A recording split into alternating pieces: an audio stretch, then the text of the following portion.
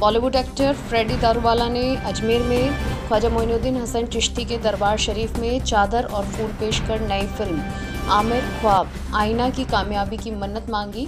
उन्हें बॉलीवुड दुआगो सैयद कुतुबुद्दीन सखी ने जियारत करवाई और कामयाबी के लिए हाथ पर काला धागा बांधकर दुआ की और दस्तारबंदी कर दरगाह का तबर्रुक भेंट किया।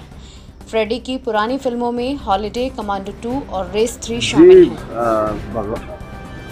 दरबार में आने में सबको अच्छा ही महसूस होता है और सबको अच्छा ही लगता है और शुक्रिया अदा करना चाहूँगा सकी साहब का। मेरे मेरे उनसे करीबन 12 साल से ताल्लुकात है मतलब कि मैं जब नहीं, मैं 11 साल के बाद 12 साल के बाद आ रहा हूँ यहाँ पर और आज भी वही शिद्दत से उन्होंने मुझे दर्शन करवाए और शुक्रिया अदा अर्ज़ करना चाहूँगा सकी साहब का।